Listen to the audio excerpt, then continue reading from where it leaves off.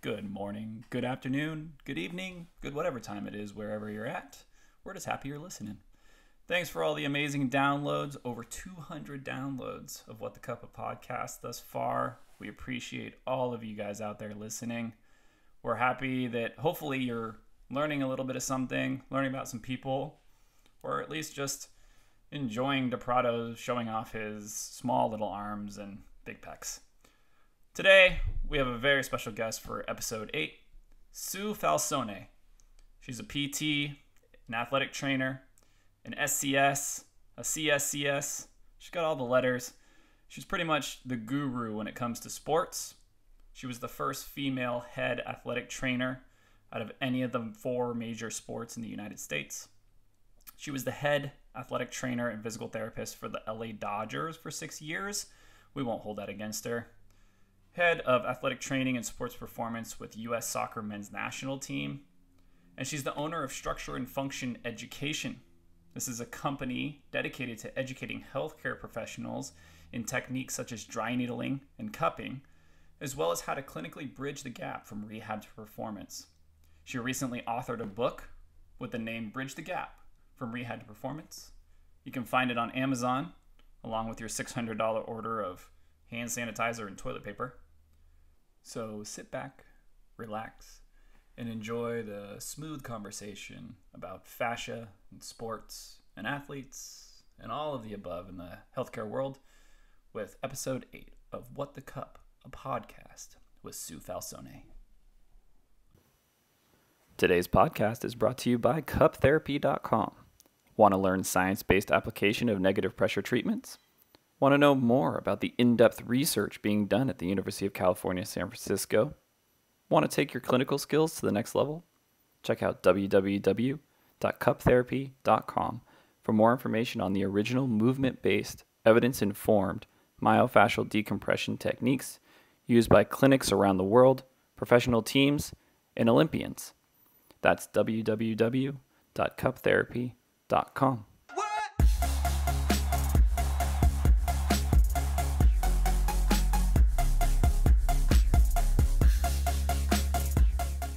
All right. So, welcome back. This is episode eight. Flying by. So many, so fast. Um, this is what we do in quarantine time because we're bored, basically. And and I'm here with a great guest. This is Sue Falsone.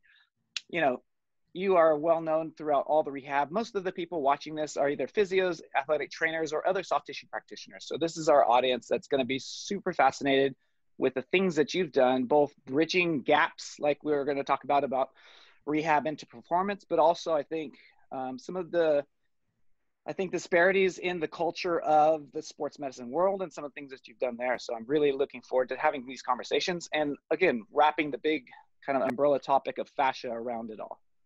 So uh, tell us I'm how you're doing. And on. Thanks for having me. I'm super excited. So I met Sue um, here in 2018 in Berlin for the first time. I had, you know, talked to other athletic trainers. I worked with the A's back in 2011, 2012, and they talked highly about you. Um, you know, doing the early myofascial decompression stuff, and so I've heard lots of things, talked about lots of great um, subject matter when it comes to fascia. But now I get to actually, you know, talk to you in a conversation here.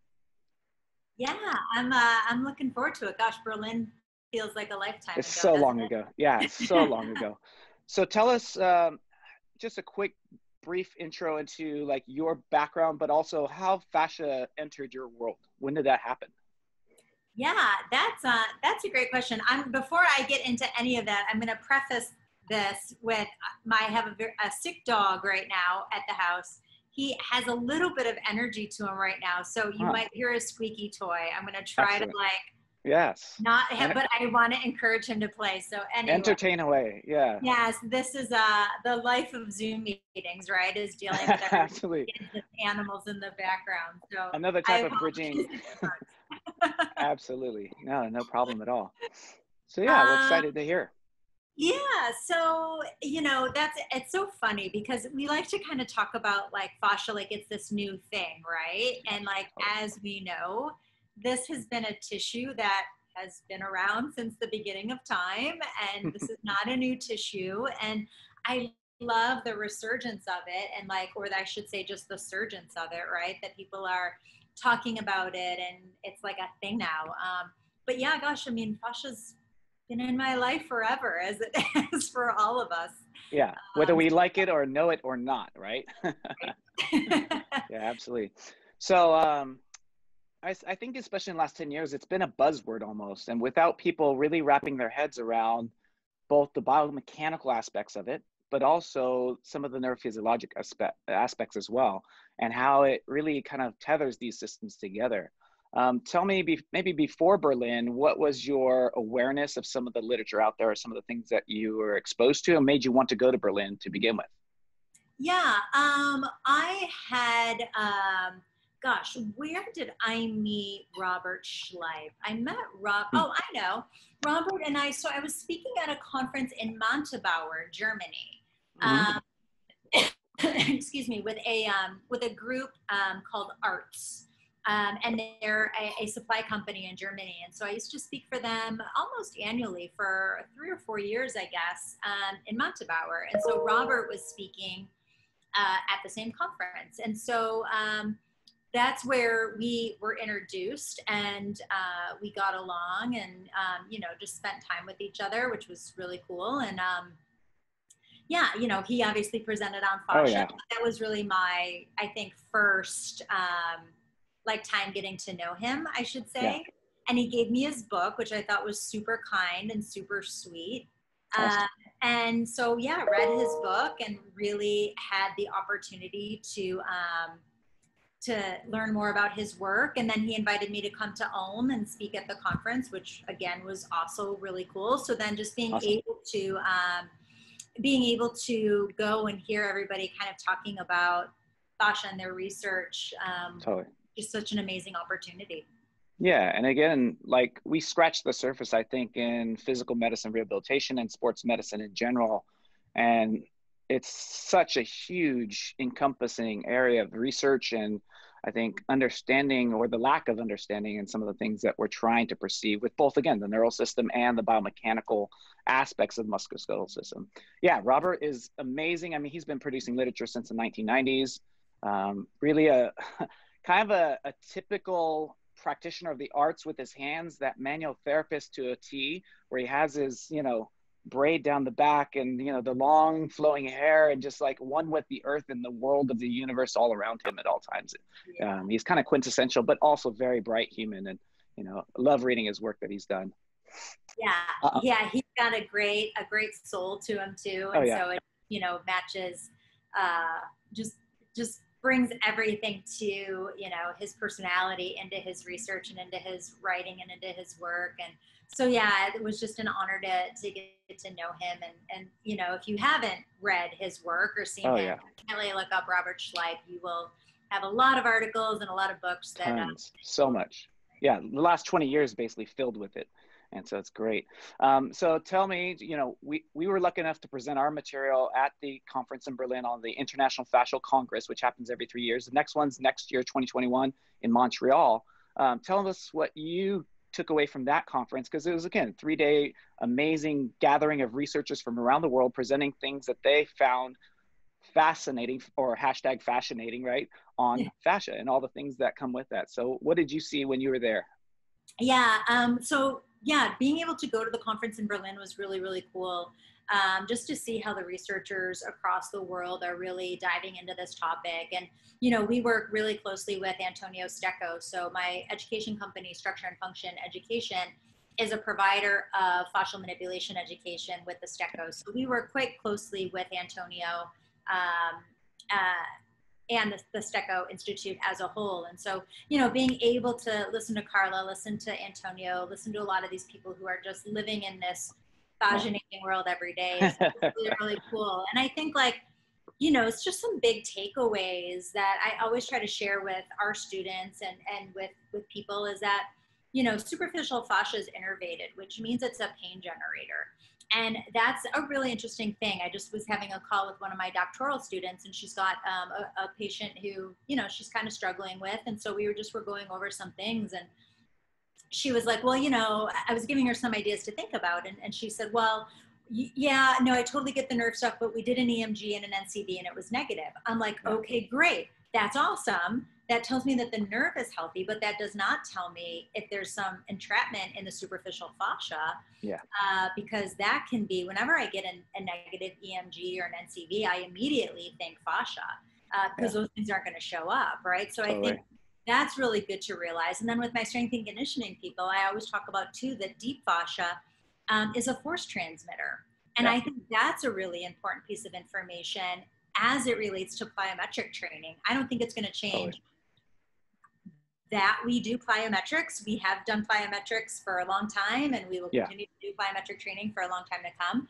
But I think it's going to change our why.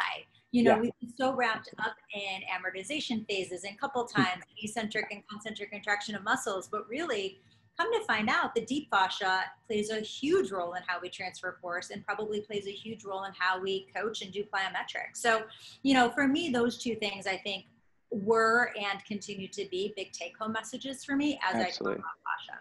Yeah, I think you hit two really important points there that you have this nociceptive pain, this like superficial signaling to the central nervous system that resides highly in that dermal layer, right? That superficial fascial membrane or the tissues within that. And that's all that neurophysiologic stuff that we talk about. But then you have this other biomechanical aspect of that deep fascia, right? Force transmission, and where almost 30% of your forces come sometimes from the antagonist of what you think is acting on a certain actual agonist movement pattern. And I think like one of the struggles I have, like I'm teaching at the DPT level, right? And so we're in courses where people are learning manual muscle tests and goniometric, you know, um, measurements. And how do you get the traditional physio out of the world of manual muscle test specific, you know, focus and into this idea of movement patterns instead of MMTs? I don't think we're there yet. I think it's super challenging as a whole. Yeah, I that's a really great, um, great, great thing. I I think, you know, we were just talking about. I, I just um, had a meeting with um, uh, my colleagues at AT Still University. So I also um, teach in the Doctorate of Athletic Training program at AT Still University. And what one thing that, that our program director Eric Sauers was just presenting to our graduate students is this concept of AT milestones and how you know, everyone thinks like, okay, you pass your entry level exam, and everybody thinks like, okay, now you're the expert, right? Where really, yeah, yeah. if you sort of look at it, um, like in medical school, okay, you pass medical school, you're at like a level one, right? And then you do yeah, your residencies, then you move to the next level, and then you do your fellowships. Fellowships, level, right? then, you know, like it takes all of this time. And decades. so I think, yeah, it takes decades, right, to become a master practitioner. And so when I think of things like manual muscle testing and these sorts of things, I think they are really, really important um, for our students to learn. Yeah. Uh, sorry, I'm letting my dog out. Yeah, so sorry not if a I'm problem. making you uh, dizzy as I'm moving. Not a problem. Not a problem. um, yeah, so I think these things are really important at that foundational level because I think if you don't have an appreciation for manual muscle testing and you know this muscle runs from here to here, like it's hard yeah. to start to break the rules if you don't understand the rules. Understand the rules, absolutely, yeah. So I, I do think these fundamental concepts of manual muscle testing and, and tissue stress testing and how we sort of deal with all of these things at the entry level is still important yeah. Um, it doesn't negate it, but we do have to give the message of this is the beginning. There's mm-hmm. more to this. This fits into a bigger picture. Um, this isn't the be all end all. You know, there is something bigger here. And Absolutely. that's the message I think that's missing in entry level education. I totally agree. Yeah. And, you know, I can go so many tangents based on what you said right now. Just, it's such a rabbit hole of how do you and again a lot of the listeners here are also students or students at dpt or getting into dpt programs or other you know again soft tissue providers. How do you get that driven you know um, analytical brain that's academically focused to take a small step away from the academics to appreciate the other parts of patient-centered you know healthcare aka like how do we get some of these people that are now i think polarizing the profession with pain science pain science pain science and no manual therapy at all and try to bridge their gaps of you know there's a time and a place for all things and and we all know that intuitively and naturally But when you talk about, again, I'm at a medical school that has a very rigorous research component to it and lots of funding that touts evidence based practice. How do we take and appreciate the other components of it that aren't yet evidence based, right? Because it takes time and money. I know very well after going through the last five years of trying to get things, you know, scientifically understood and, and published that the research world is not what you think it is. And so how do you how do you bridge that gap for people that are coming out, you know, doughy-eyed and like, you know, full of energy that say everything I've read for the last 3 years says manual therapy doesn't work and you guys are full of crap. I know that's a lot. Yeah, this is a fun conversation. yeah. Um, yeah, that is a great question. I mean, I always go back to oh, you know, of course, it's it's about the nervous system, right? Like we know that. We know yeah. that from a movement standpoint. It's the somato, you know, it's the somato. um, um, sensory motor system for a reason, right? Like there's the sensory Correct. component, there's a motor, co- motor component. component yeah. You can't have muscles without nerves. Absolutely. So we know that the brain obviously plays a huge role in that. Um, but yeah, like you can't take the physical out of physical therapy. And yeah, true. I've been doing, um, I had to present, um, gosh, I've presented this at a couple places now. Wow, where did I present this? Oh, I know. I had to do like a low back pain session um, for um, the, the BOC for the, for NATA last yep. year. So, you know, I had to kind of comb the research. And I think that when we look at the literature on manual therapy, maybe it's not working the way we think it works, meaning mm-hmm maybe um, we're not following or changing the arthrokinematic biomechanical thing the way we think we're changing it, right? Like there's a, a, very interesting study. If we think about biomechanics, okay, if you externally rotate your shoulder, we know biomechanically that there's a, a roll and glide that occur there. So, right, you mm-hmm. roll posteriorly, we glide anteriorly. Well, and they looked at, you know, they I can't remember the authors, but they basically looked at, okay, people who have frozen shoulder, we'll do an anterior joint mobilization at the shoulder. And then with some people, we'll do a posterior joint mobilization and see who gets better. Yeah, well, sure enough, the people who got the posterior shoulder joint mobilization got more external range of motion, which hmm. biomechanically doesn't make any sense. None at all. so, but yet, right, we know that manual therapy works, right? There's multiple examples like this. So, multiple yeah. manual therapy works. It just maybe doesn't work the way we think it works. And maybe we're influencing the nervous system way more than we're possibly influencing the biomechanical yeah, system. Absolutely. It's something to kind of think about and consider. I don't think we should be tossing manual therapy out the window, yeah. but I yeah. think we need to be evaluating okay, it probably isn't doing all the things that we think it's doing, but what or, is it really yeah. doing? Or thought it was doing when we learned male female rule. Like, I mean, like that was the stuff I learned way back when. And like we can see that that doesn't really hold much water anymore. And so, you know, I think don't throw the baby out with the bathwater type of thing is That's what it right. comes down to again. Um, and for me, it's always this idea of 80 20. Like 80% of the changes are probably neurophysiologic, but you can't discount some of the things that do happen mechanically over time. And being able to measure that just takes time and technology. And maybe we're just not there technology wise. A hundred percent. I mean, think of all the stuff with diagnostic ultrasound now. Exactly. Yeah. That come out. Whereas, you yeah. know, 10 years ago, we we weren't even looking at at diagnostic ultrasound. And when you you know i do a lot of work and studying in europe or at least i did pre-covid. Yeah. Uh, and when you look at you know how they're utilizing musculoskeletal ultrasound they looked at me like i was crazy in the fact that like every clinic in the us doesn't have yeah in their clinical practice. Absolutely especially with cost. I mean, it, it's come down in cost so much. And I think technology as it advances, you have to adapt to this newfound ability to have better information to provide not just to your other, you know, students, but to your patient, you know, because some people have that linear kind of I think approach to wanting to get better that they want to see the objective measures. But if those objective measures don't fit their subjective experience, they're not going to care but you you have to kind of pair the two together in my practice most of the time is what i found. Yeah yeah that stuff is so important and i think that you're right like some of our technology right like we're just learning how to measure stiffness within fascia right? And so we know there are changes in in the stiffness. We know like you and i both utilize obviously a lot of cupping and so we see that there are biomechanical changes and what those biomechanical changes are and how we can affect stiffness of tissue Um, really, really interesting. So you're 100% right. There's definitely a biological component um, yeah. to what's happening. We just have to continue to, to explore. Yeah. I think these polarizing opinions of, oh, yeah. Manual therapy does nothing. It's all about the nervous system. Um, there's nothing biomechanical. It's all neuro. Like these polarizing statements are. I think we know better. It's yeah, and it doesn't really help anyone along the way. I think we're all trying to figure it out. Nobody has all the answers, and you know, I, I just find it, especially in this new Instagram world that I've gone down the last three years, it's really frustrating to see these polarizing individuals that get such attention.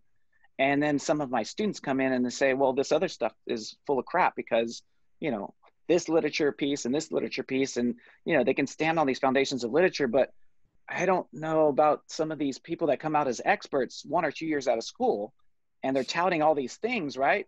And you have no experiential knowledge to really drive some of those decision making clinical reasoning factors for you and I, I, I really I find it hard to have people that have only been practicing for a year say this is the way it is. And I think that's unfortunately some of the effects of these polarizing, you know, Instagram gurus that are out there.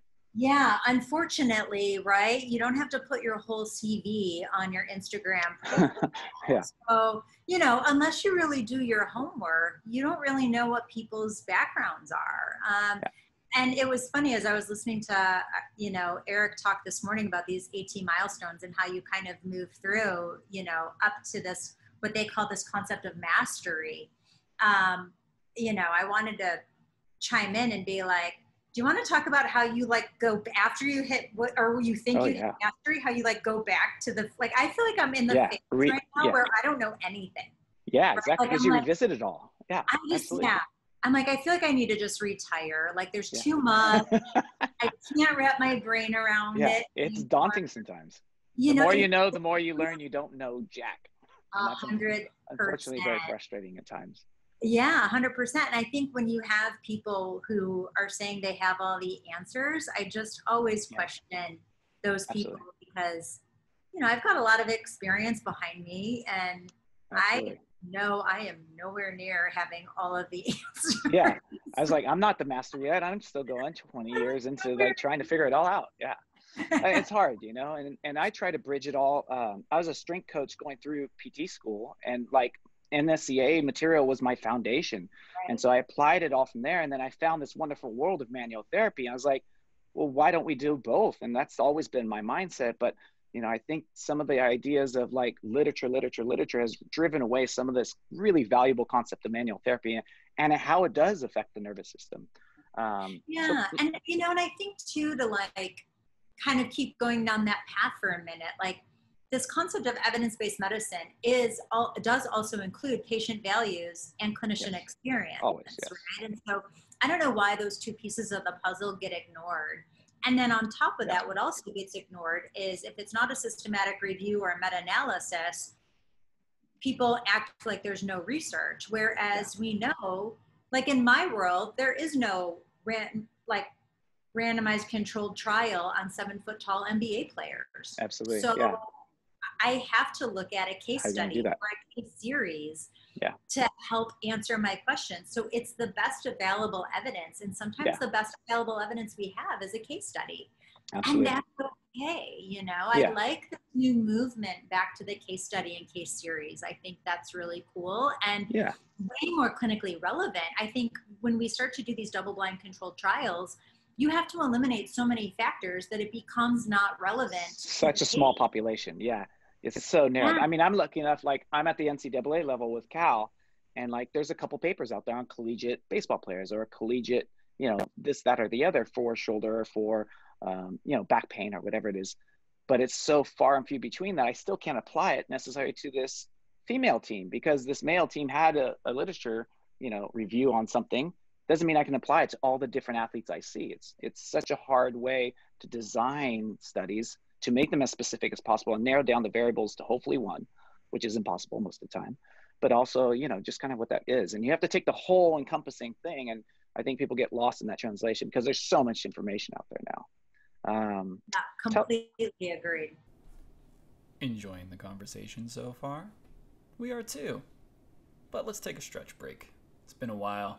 Stand up, reach around, touch your toes, grab your keyboard, go to www.cuptherapy.com and check out the newly designed website, including the links to our brand new online didactic level one course for myofascial decompression. Also, we're beginning to reintroduce a few level two classes, so feel free to check out the schedule and see if we're coming into a city near you in the next few months. Enjoy the rest of the conversation with Sue Falsone. Yeah. Tell me maybe um, who were your big influencers in the idea of manual therapy and specifically dry needling and, and cupping if, if you want to get more specific? Yeah, um, you know, I have from a, from a dry needling perspective. You know, I learned needling and cupping ten years ago from um, from Yun-Tao Ma, and so you know, he obviously had a, a, huge influence on my practice. You know, now I do a lot of studying in England um, with the um, uh, uh, I always want to say the American, and I'm like, nope, it's not the American. With the Association of Acupuncture for Chartered Physiotherapists. Physiotherapists. Yeah. Uh, yep. And then um, obviously a lot of stuff in Italy with the Steccos, and then some stuff mm-hmm. in Spain um, surrounding percutaneous um, nerve stimulation with dry needling. Um, and then actually doing um, some Chinese medicine stuff through a university in Hong Kong. And so, you know, just kind of expanding out from there to just sort of like continue to try to learn and expand on all of these concepts. And, you know, as we, that, that phrase sort of bridging the gap fits so many things in my life because I feel like, yeah. I'm like bridging the gap from rehab to performance. I'm bridging the gap from Eastern and Western medicine. I'm bridging the gap, right? Like cupping has been around yeah. for gosh for thousands of yeah. years and when people want to argue with me in you know whatever it is 200 yeah. characters on twitter i'm like look at there's five things that have been around for thousands of years needles yeah. right i don't care what you want to call it acupuncture dry needling doesn't matter like whatever. needling um, cup like cupping has been around for thousands of years um, gua sha so instrument assisted has been around for thousands of years yoga and if you think about yoga um, the asanas, basically, or movement, right? So, like a movement practice. And then within yoga, too, like their breath based meditation, right? So, it's like, how do you connect the mind and the body? So, like, when you really look at it, to me, needles, cups, instrument assisted, movement, breath, and meditation, and mind, and how we connect the mind and body it's really hard to refute things that have been around for thousands of years just yeah. because we don't know why they work doesn't mean they don't work. It just means we're still working out why they work. Absolutely. Um, so people want to start kind of throwing all these new and fancy tools at me. I'm like, that that's cool. Like you can spend your time wherever you want from a learning perspective. But yeah. um, it's really hard to say that cupping or needling is stupid when it's been around for thousands yeah. of years. Yeah, again, it's, it's like what are you choosing the right tool for the right situation is what it comes down to. But you're right, and and it tra- you know it transpires all different cultures not just chinese medicine right? It's so many different cultures. One of the things that i found out you know early on was this whole idea of hijama or wet cupping right? And so the, the whole bleeding aspect and for a totally different reason with different mechanisms and different approach styles right? And so this negative pressure device is used all across different cultures all across different um, medicines for different reasons. And i think you just need to pull the tool out of your toolbox when that thing is appropriate whatever it may be. And and not necessarily try to shoot down all the tools that people have in their boxes. I think you can challenge when they bring the wrong tool out clinical reasoning wise whether it's nervous system or actually biomechanical or biologic tissues right is the tissue the issue. But you really kind of got to go back to the toolbox. Like there's nothing wrong with having a lot of tools. You just have to use them when they're appropriate right? 100% i mean so many times you know i'm the sixth, seventh, eighth, ninth practitioner yeah, that my yeah, client sure. has seen. So they already have, right? And this is where it comes back down to that concept of patient belief system, right? If they come into me and say, oh, I've already, I've done needling, I've done cupping, I've done this, I've done that, none of that's worked. Well, then I better have another tool in something else. Yeah. That. I can try. Even if you're the best at those other things. Yeah. That's right. Or somehow convince them that maybe there's a different technique, right? Because they already have a negative perception that that tool didn't help them. So, yeah, I'm a big fan of having a lot of tools in the toolbox because you never know. But you're 100% right. People, it's amazing to me when I ask clinicians what their philosophy, what like what their philosophy is surrounding rehab and treatment. Like people say, oh, well, you know, I follow LMNOP, right? Like pick whatever yeah. favorite letters uh, yeah. they, you can use. And I'm like, okay, but like, what is that philosophy, right? Like my philosophy for treating a patient uh, is to restore and maintain the homeostatic balance of my client. That's it. So whether that's biomechanical, bioneural, uh, biohormonal, biopsychosocially, I want to restore and maintain the homeostatic balance of my patient that's it. As long as I continue to come back to my philosophy, the tool, I, it doesn't matter. I, I can choose a hammer, I could choose a screwdriver, right? Like you yeah. said, you need the appropriate tool for the appropriate job. But I come back to my philosophy, and what I find, especially with younger client or younger um, clinicians, is that they mistake tools for philosophy, and that's yeah. where people get in trouble. Yeah, yeah, because you get mixed up really quick because there's going to be ten different approaches to using that tool right? right. Um, I don't think we are the first to combine cupping with movement science, but in 2007 at Cal, we started using a lot, and we were looking at the literature and like this didn't exist very much. I'm sure lots of people had done it for hundreds of years, thousands of years. They put some cups on and said, "Well, move your shoulders. It feel better." Yeah, but we were the first to actually, you know, try to systematically do a, an approach that made sense biomechanically and neurophysiologically but like you're right it's it's all these different things and you got to understand that the basis of all that is your foundations. And i think a lot of people skip the basics and go right to the advanced things and they don't understand that those foundations are going to totally change the way you use that tool if you're using your clinical reasoning the appropriate way. Um, and i think it's fascinating to see those types of things. Um, let me ask you a, a, question i get a lot is I, I used to practice in colorado and so ADO and uh, KinetaCore was kind of the, the way I was introduced to dry needling. Um, when would you usually pull the needle out instead of a pull the cup out? Taking out again the patient preference always runs you know primo. That's the first thing. But when do you like to use a needle over a cup or a cup over a needle for, for yourself? Yeah, I, I that's a great question. Um, and I'm going to use a very, um, I, I'm going to answer that in a couple different ways. For me, needling, there's I use needling in such a broader way now that I have a little bit more um, true act like and I know I'm not supposed to say the A word, but considering love that, that like, love that the A word, I know. Yeah. But I have taken acupuncture courses in the UK and in Italy and in Spain, and I know that that means nothing here in the US. So I'm not claiming that I'm an acupuncturist.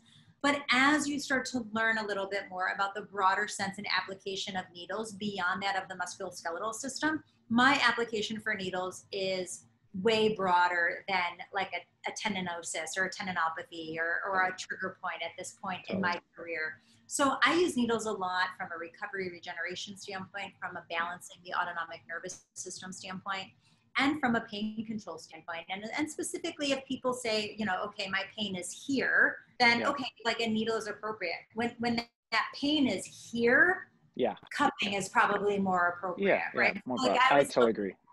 Yeah, like you could put a needle in someone's IT band, absolutely, but I feel like I get better usage of yeah, a cup, right, absolutely. and trying to to work the tissue between the IT band and the vastus lateralis, the IT band and the hamstring versus totally. like putting one little needle lesion there. Yeah. So I think the, the issue's broader, I yeah, tend broader. to use it Totally agree. And either of them, I think, give you that opportunity to, after decreasing that irritability, teach them to move more efficiently, right? And that's the that's that glue. That's the thing that people, again, when you learn in isolation a technique, you forget that movement and efficiency and being a you know optimally functioning human is the is the end goal at the end of the day.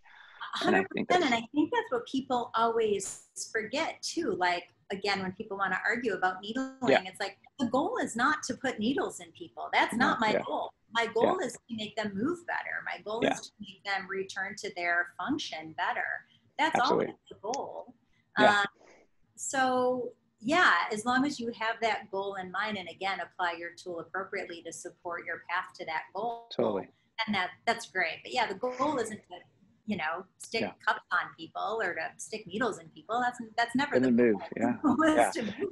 And I don't know about you. I mean, I've been doing this like 16 years now. And I found that the longer I've practiced, the more I get a broader sense of the effects of the things I'm doing and not such a, like, I also teach a lot of manipulation and like, okay, a CT junction, I'm getting, you know, T1 to go that way while stabilizing this. And I'm trying to get the, and you're thinking so micro and so of this like little specific effect. And is the cavitation appropriate or important for range of motion changes? And I used to, you know, read the literature and think no, but now I'm thinking like on a global level, the more I practice, the more I feel like you're treating this whole human and not C7 on T1. And it's just kind of the way I think when you learn your skills and you're a young clinician, it's hard to separate away from this idea of this affects this directly. A plus B equals C. And it's not. It's like A plus B plus D plus P equals X, Y, and Z. And like Yeah. you have to understand that it's not a linear component of it all. And you step, I think as you gain more of that mastery or getting close to that mastery, you step away and you realize that all the things function together. And It's like, you know, how do you feel about like that idea of that specific intervention affecting a bigger thing? I think you're 100% right. And, and, and you, you start off with this myopic view of, right, Yeah. like, yeah, I'm going to fix that joint. Yep. And we know that, like, okay, yes, maybe that joint is a component of it. But, like, again, I, I try to remind people that just because you like the musculoskeletal system doesn't mean you can be arrogant enough to think that that's the only thing you're going to affect. So, Yeah.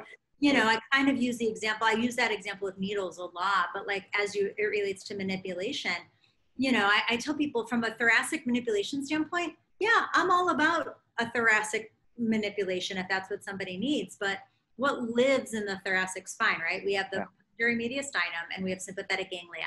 So I'm all about doing a high velocity manipulation to someone's thoracic spine pre-game or pre-practice if that's what's needed.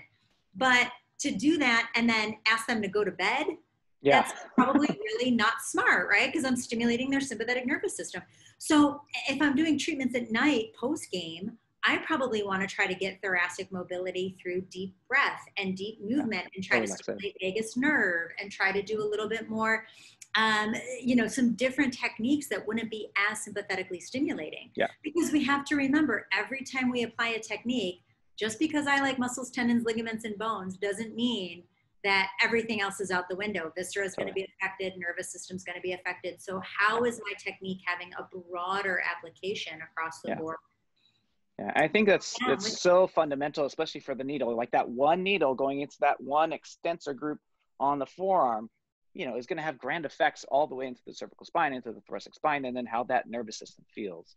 And and again, it's one of those things when you teach young clinicians, for you young clinicians out there, or you know, even students out there, remember you're treating the whole thing, and this little piece of the puzzle fits in, but it's not the puzzle, it's not the picture, it's a piece of that picture and things. Um, that's great. I love this conversation. Um, let's go into how, now that we're talking about teaching, how is this newfound environment of COVID and online education, um, how does it affect, you think, the next five years of teaching our, you know, soft tissue providers and manual therapists out there? It, it is, you know, I have been, this is where my brain has been for the last five months. Um, how do we teach people manual therapy skills? How do we teach them, you know, an invasive technique like dry needling? Um, you know, what things really need to be done in person versus what things could probably be done in an environment like we're doing right now. Um, and yeah, you have to ask yourself some really hard questions to say, okay, what can be delivered in this manner versus what can what needs to be delivered in person.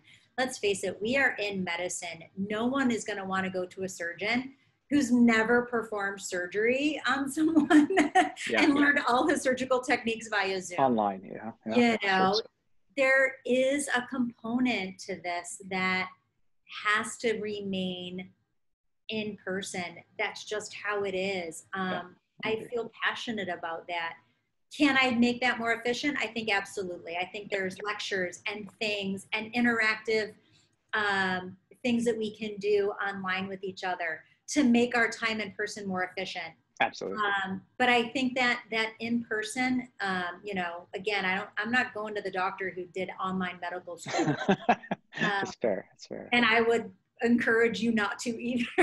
yeah, yeah. No, I agree. I, I went into this online thing kicking and screaming back in February um, because I'm like, no, manual therapy needs to be in person. You need that kinesthetic learner. That's who we are most of the time to learn kinesthetically.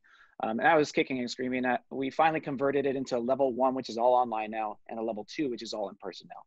Because, you know, you got to keep your brains fresh too. We have to keep going, even though we're in this kind of like a little bit of a staleness when it comes to in person education. Uh, but I agree, like y- you want someone that's done that tactile learning, that kinesthetic learning to be the one to manipulate your C7 or T1 or stick that needle into that, you know, intercostal muscle or all the things that you need a little bit more refining as you go through the learning process of it, you know, some of these Yeah. skill-based activities and things.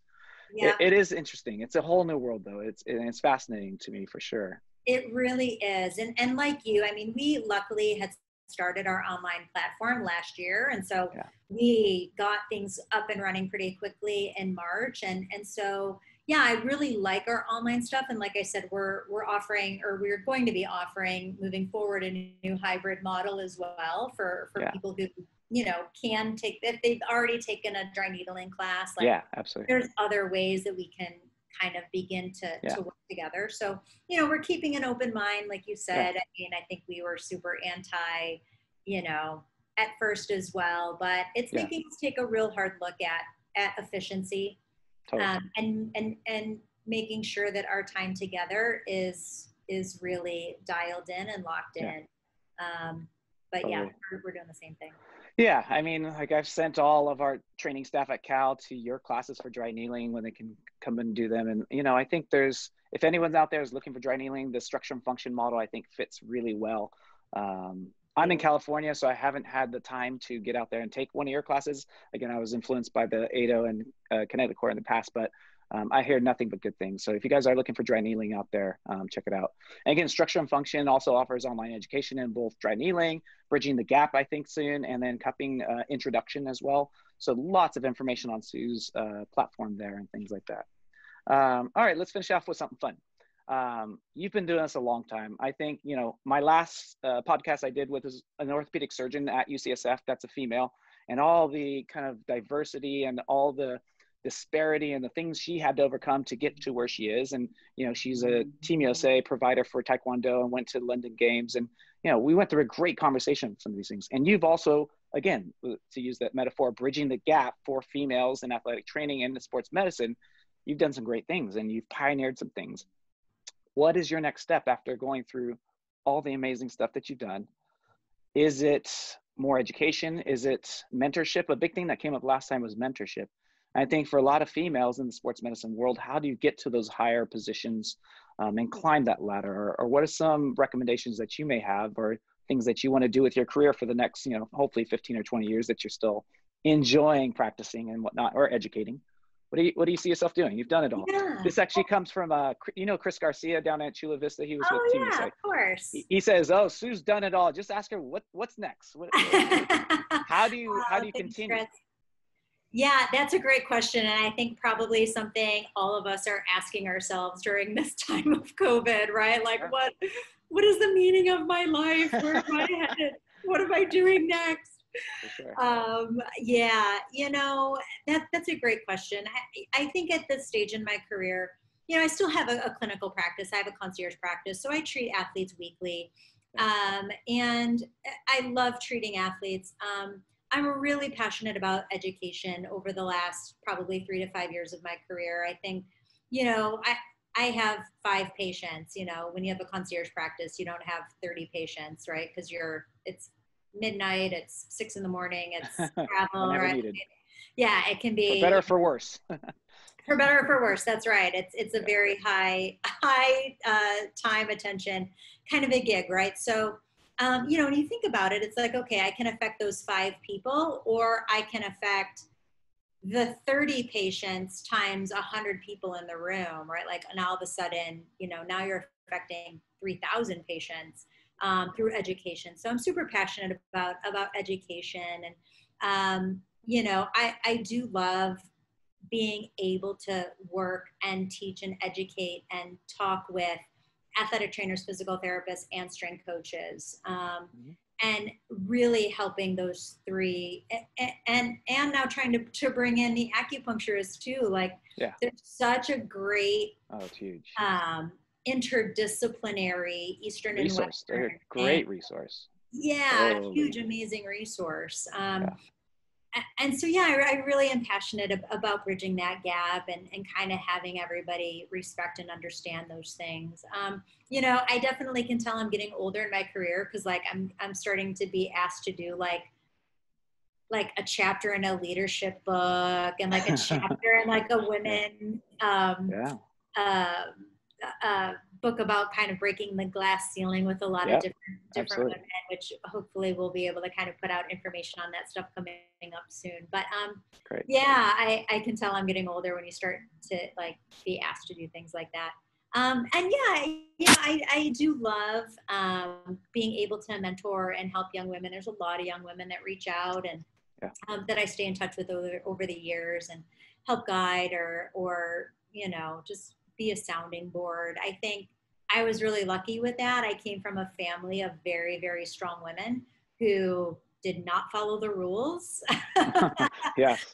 Um, and so I, you know, was really naive in the fact that like a lot of women don't have that, you know, a lot of women don't have those role models or that upbringing. Um, whereas like I almost was brought up to, to sort of buck the system a little bit. Um, yeah and not everybody had that experience. And so I think as I've gotten older too, I'm, I'm really grateful for my family and, and the women that, that are in my family that, that sort of showed me um, that I could do whatever it was that I wanted to do. Yeah. So yeah, if I can even play some small role for that um, in young women's lives, I, I think that's really, really amazing. Absolutely. Well, you're an inspiration to so many, I'm sure, across all different disciplines. Like you said, I think one of the other big bridge the gap successes I've seen from you is, and for hopefully more sports medicine practitioners out there, is that multidisciplinary approach. The idea that everybody has their expertise and nobody can understand and know it all. So you need to bring in those, you know, people that are, you know, on board with your game plan, right? The trajectory of whatever group you're working with, but they're the expert and you have to kind of refer back to them because I don't know everything about acupuncture. I love it. I'm fascinated by it. But, you know, I need to bring people in to talk to me about some of these other, you know, mechanisms and histories and all the things that go along with it. It's beautiful. Yeah, um, it really is cool. Yeah. And, you know, I, for those of you out there that haven't done acupuncture or don't have acupuncturists in your network, I highly recommend you find someone in your community that you can pair with because they are such a complementary provider. It's not contradictory to Western medicine. It is a complementary medicine practice. And unfortunately, they're 50 years behind us in the literature world, but they are like 150 years ahead of us in understanding the mind body connection of it all. And that's the way I always try to, you know, tell people that acupuncture is not this off kind of weird voodoo magic thing. It is such important appreciation for the way the mind and the body connect. I think 20 years ago, we didn't talk about that at all in Western medicine. And now we're really talking about it. And so we have to catch up to them when it comes to the full approach of the human body and all its efficiencies that are out there. It's really, really neat stuff. So it is. Yeah. Yeah. So leading the charge again, Sue Falsone. I love this conversation. It was such a good one. I, I hope to do another one with you in the next six months because I, I feel like I have so many other things we could have touched on and, and dove into. But again, if you guys are out there, if you guys are out there looking for online education, go to Structure and Function. They have some great platforms out there. Um, lots of fun stuff. Any other parting words you want to say out there? Nope. Uh, I think that's it. Just thanks so much for having me on. I love that you reached out and that we were able to connect. And uh, yeah, everyone kind of sent some good vibes to my puppy. Oh, there's not, Richard. Uh, yeah, to Richard. uh, but no, thanks so much for having me on. And, and I love these discussions. And yeah, I think there's a lot more we can talk about. So let's uh, absolutely. Look forward to more collaboration with you in the future, Sue. Me too. All right.